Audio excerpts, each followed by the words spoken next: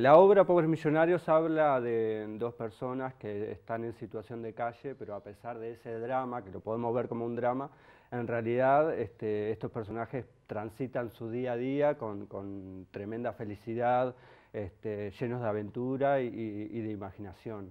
Ellos viven el día a día como si fuera el último y lo bueno de esto que son pobres millonarios justamente porque no tienen nada material, pero tienen la riqueza de tenerse el uno al otro es un poco por ahí la, consigna de la obra. Que es el mensaje que siempre se habla, que de repente uno no tiene cuestiones materiales, pero igual es millonario, ¿no? Porque tiene sus afectos, tiene su familia, se ha ganado el respeto de otros y que de repente eso que no se mide en plata eh, también es riqueza para un ser humano, ¿no? Sin duda. Exacto. Eh, ¿cómo, ¿Cómo llevan esta obra o esta, esta imagen o esta idea eh, a una obra? Bien, yo voy a, esta parte voy a decir yo, que dice así. Que todo comenzó, porque nosotros somos pareja en la vida. ¿En la vida real son parejas? Sí, marido y mujer. Ah, bien. El Mabri y la Katy. entonces, salimos sorteados en los terrenos de la Intendencia, viste que se sorteó en junio.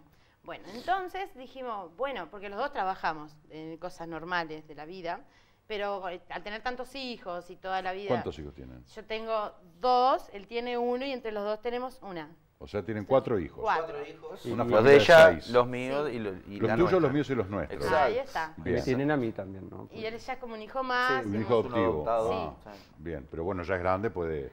los hijos de ustedes son chicos. 15 años. El mayor 15 años.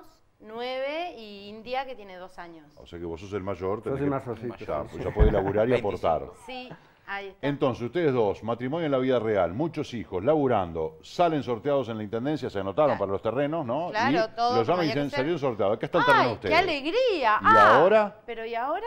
Porque hay que poner, claro. Este, de una suma que para uno que es laburante, que llega a fin de mes ahí raspando, decimos, bueno, mm. ¿qué hacemos? Y apareció el señor Nicolás Moreno con eh, una propuesta, o nuestro hijo adoptado, con una propuesta de decir, este, nos mostró el guion y, dijo, bueno, vamos a, plantear esta obra. Cuando vimos el guion, este, nos divertimos mucho, nos reímos y dijimos, vamos a darle para adelante. Y bueno, ya vamos ahora a hacer la tercera función, tuvimos dos, este, a sala llena, este, muy contentos con la respuesta de la gente, este, las risas, los comentarios, los agradecimientos de la gente, porque la gente se lleva un mensaje. Claro. Este, más allá de que pasa bien y se divierte. ¿Esos son ustedes dos en escena? Sí. sí. Esos somos nosotros. Ellos son Ramón y Luisa. Ramón y Luisa. Nosotros ahí eh, como que nos quedamos dormidos y dejamos que ellos vivan. Ah, qué lindo eso. Ah, qué notable. Yo quiero que me sigan desarrollando la idea. Entonces, bueno, ustedes este, salen sorteo y dicen, ¿y ahora qué? ¿Tenemos que buscarle la vuelta? Claro. ¿Y, cómo se le encuentra esa vuelta? Y bueno, dentro de todo lo que uno hace en la vida, porque hay que hacer de todo, este, bueno, yo estudié teatro, egresé de la escuela de teatro, él también estudió en Montevideo Teatro cuando él vivía allá, y al tener el contacto con Nico, dijimos, bueno, podemos vender panchos, podemos hacer ferias americanas, podemos hacer bingos. Y dijimos, no, ¿por qué no? Hacer lo que amamos hacer y que dentro de todo hacemos lindo y bien. Y bueno, y Nico nos ofreció para hacer la obra. Y ustedes dijeron, y chochos de la, vida. Mágica. Claro. Otro aspecto en el que son millonarios también. no, pero es que somos. El poder hacer lo que les gusta, lo que entienden que se defienden mejor. Y además, este, bueno, a vos te, te atrajo la situación real que vivían ellos para, de alguna manera, dar un mensaje, ¿no? Sí, y, también pues somos grandes amigos de la vida con Katy, este, nos conocemos desde, veinteañeros, este, egresamos juntos, somos de esa generación que egresamos juntos y después por cuestiones de la vida no habíamos podido estar en tabla juntos y ahora se dio esta posibilidad, se la planteé a los chicos y bueno, surgió este, y nada, eh, para, apoyar a, esta familia hermosa que, son, directamente por eso. El, el, ¿Arriba del escenario son ustedes dos solos? Sí. sí. Somos los únicos en la escena. ¿Cuánto dura la obra? Una horita. Una hora. Mm. ¿Y lo llevan bien? Sí, bárbaro. Fue un placer ensayar, todo, todo. Fue muy lindo, como que todo se... Fluyó. Divino. Sí. Divino. La disfrutamos mucho de arriba, nos divertimos mucho. Y también encontramos como, como pareja, como matrimonio, una instancia en donde compartir una actividad que los dos o sea, amamos. Qué bueno, qué bueno. Y... Sin los niños. Sin los Se le ilumina la cara y dice, "Y sin los niños. El Besito, mamá, besito para mamá. Nacho, para Mateo. No se asusten, aquellos... Porque hay familias que están esperando un bebé y que escuchan estas cosas y, y ella se mira la panza y dice, ay, No, ¿qué es divino, hicimos, es lo más gordo?". lindo que puede Es lo más lindo pero- que hay en el mundo, tener un hijo, criar un hijo, un hijo, una hija, obviamente. Sí. Es la experiencia más maravillosa. Te van a dar los dolores de cabeza, te van a dejar noches sin dormir, te van a sacar canas verdes. Todo lo que te puedas imaginar te va a pasar, pero siempre, en cualquier condición, es maravilloso tener un hijo y dos y tres y cuatro. Lo que pasa es que es caro, ¿no? Porque es una inversión. ¿eh? Vos decís, pobre millonario, tenés cuatro hijos, no veo la pobreza donde está, porque Sí, sí. hay Sí, que es que no alimentar, vestir, educar. ¿eh? el tiempo y Es más muy el- lo económico, pero también el, el estar El con cada uno de ellos, no, porque son claro. edades muy diferentes. El de 15 necesita también de, de su madre, de, bueno, del Mauri, el de 9, el del 10, el de 2 años. Entonces están todos en diferentes etapas que... De 15 a 2, Sí. Sí. Este, y, Ahora- ta, y que el de 15 quiere ir a salir con los amigos y no puede decirle, está, sí, anda. No, tenés que llevarlo, traerlo de madrugada. Y la de 2 queda de... ¿ves? Pero es divino. Que a veces se despierta a las ellos, 4 yo o no- 5 de la mañana. lo que decías vos. Sí. No, que a veces se despierta a las 4 o 5 de la mañana. Claro, Chiquito. La India, La India, India. Eh, tres de la, la de 2 mañana. es nena. Sí, es- son todos varones y India. Ah, mira, tres varones y una nena. Sí, ¿Y entre ellos cómo se llevan? Divina. divino. O sea que esas familias ensambladas que encajan y Ah, que andan bárbaros, fue que todo parecen perfecto, los como- cuatro hijos de los dos. Sin Sí. duda, sin duda. Sí. Y entre ellos, como si fueran hermanos, los cuatro. Sí, claro. Sí, sí, sí. Sí. Sí, ellos son hermanos, o sea. Bueno, desde este, luego, claro. lo- el- son hermanos y se dicen hermanos y se sienten hermanos.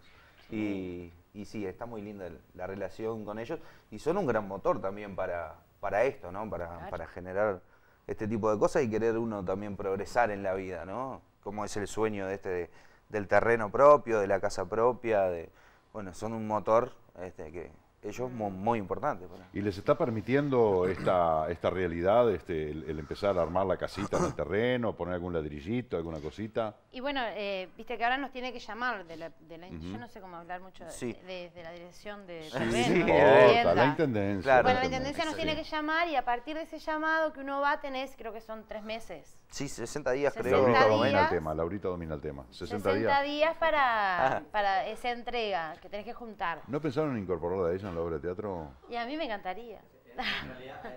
Primero, le sobra tiempo como para Claro, si hay algo ir a, a quiere. ensayar y todo lo demás.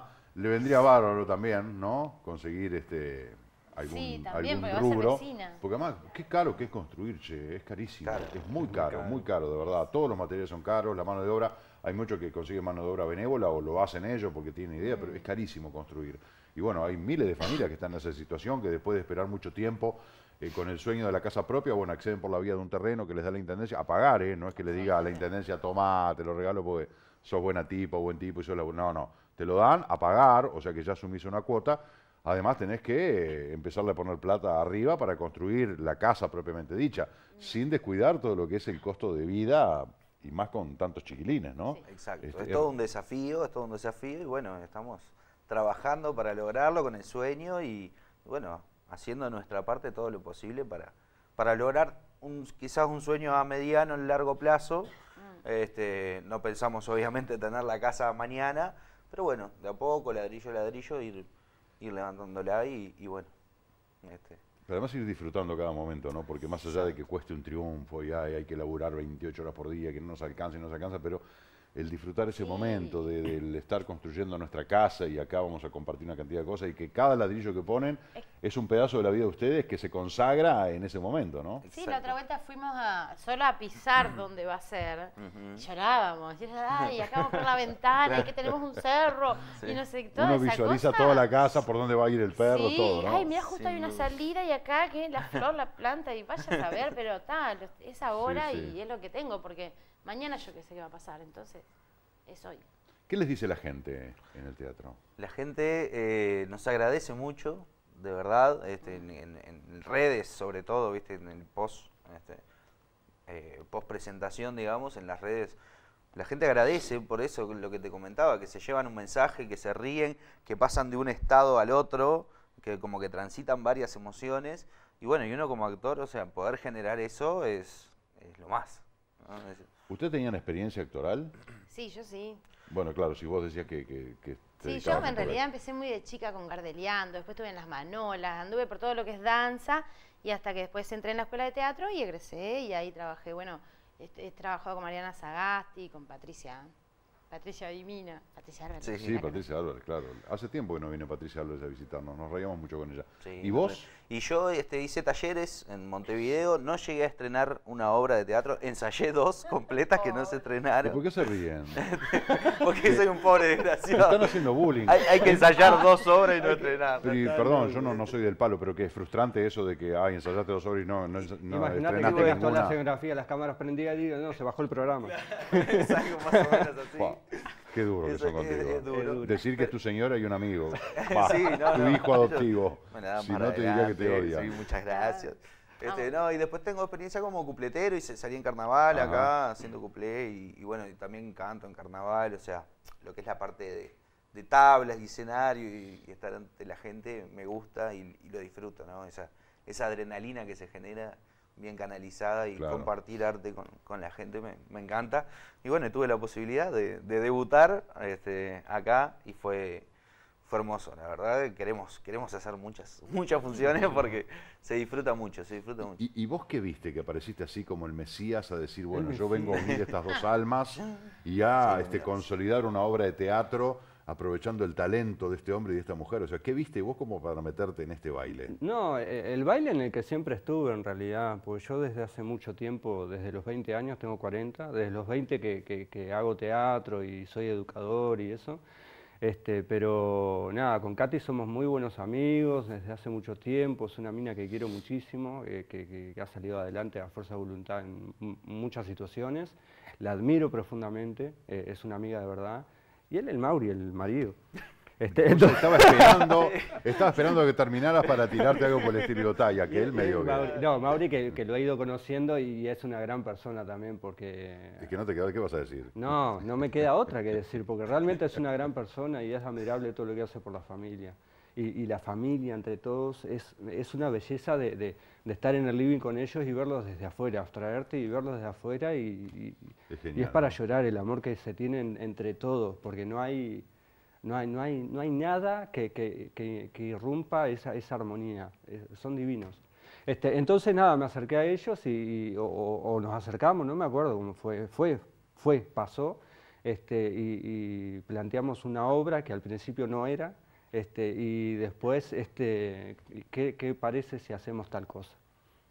Esta obra tiene 15 años este, y es el tercer elenco que la hace y siempre funciona. Y, casualmente siempre la hago en épocas de elecciones, que estaba pensando de otra vez, porque tiene, tiene una lección también un poco para, para, para las políticas. Eh, ¿Se permite el desarrollo de la obra o de repente, no sé si en algún aspecto la improvisación o algo, tirar algún bocadillo o de repente tomarle el pulso al público y tirar algo para ver qué devolución tienen? Digo, ¿se, se permiten ese tipo de licencias? Pasa que está, está todo ahí. Eh, ya desde el libreto aparecen cositas y, y en plena obra más tirás.